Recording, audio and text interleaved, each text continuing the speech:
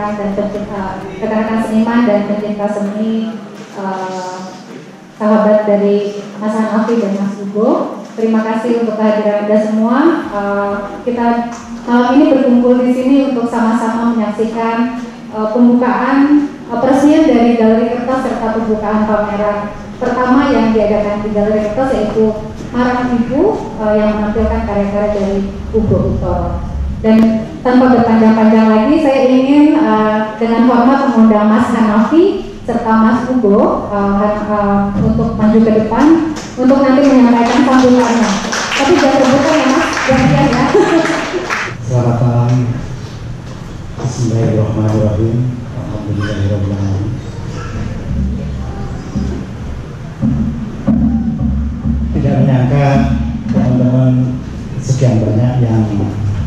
Mengapresiasi kami untuk pendirian galeri kertas. Uh, malam ini saya berdua di depan Anda, di tengah Anda, dengan rasa bangga dan rasa senang. Ugo Untoro dari Jogja yang mengawali pameran galeri kertas di malam ini. Di tempat lain politik memporak-porandakan keluarga kesenian di sini menyatukan kita dalam satu persaudaraan. Terima kasih buat saya.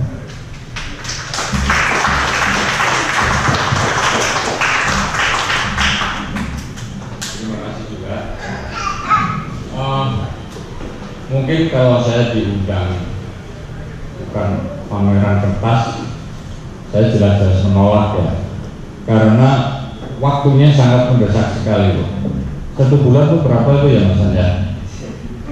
Gedung belum jadi, saya juga belum siap apa-apa, tapi ketika ditawarin pameran kertas, ayo, saya jawab langsung ayo gitu. Dengan waktu yang ya sebulan lah efektifnya ya Mas. Jadi uh, terima kasih juga dengan segala kertas, studio Hanafi dan semua teman-teman yang telah membantu acara ini. Terima kasih. Selamat menikmati. Tapi Mas Hanafi kalau Hugo uh, di situ saja dulu jangan kembali ke tempat. Sekarang saya ingin mengundang dengan hormat juga Mas Heru Joni Putra, penyair uh, penulis berbakat yang juga ini menjadi penanggung jawab dari kertas untuk menyampaikan sepatah dua kata sambutannya.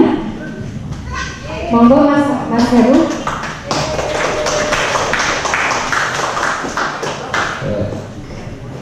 Selamat malam Bapak dan Ibu sekalian. Terima kasih uh, telah hadir di pembukaan Galeri Kertas sekaligus uh, pembukaan pameran pertama dari Mas Guntoro Marang Ibu.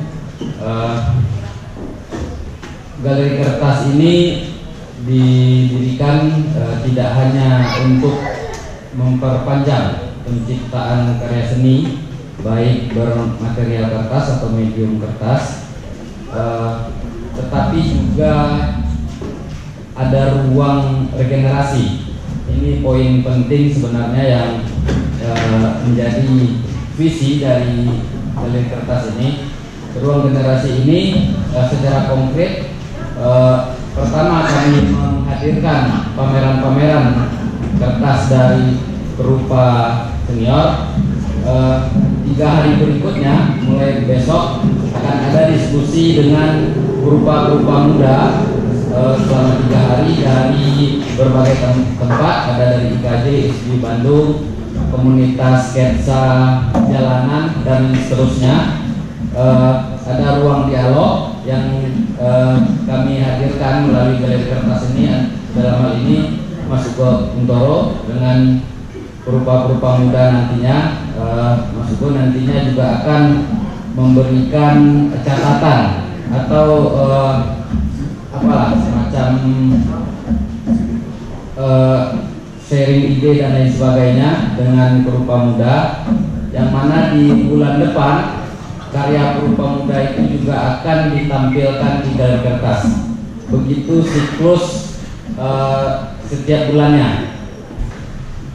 Pada tahun 1953 artinya cuma selang 8 tahun setelah proklamasi dibacakan itu ada seorang sastrawan terkenal namanya Pramudia Anaratu dia menulis satu cerita di majalah Indonesia bulan September judulnya korupsi yang menarik di dalam cerita perang tentang korupsi. Ini akar persoalan korupsi itu dimulainya dari kertas ada tokohnya namanya Abbas itu memulai korupsinya dengan mencuri kertas. Kertas yang bersih tentu saja. Tapi kertas yang kotor yang selama dia menjabat tidak dia perbolehkan untuk dibawa pulang oleh bawahannya. Hari itu hari dia mencuri kertas mulai diperbolehkan anak buahnya membawa kertas bekas nah menurut saya ini menarik sebenarnya. Karena apa yang disebut sama Gandhi tujuh dosa sosial yang sangat merusak dan bisa bikin negara bubar secara lebih ramai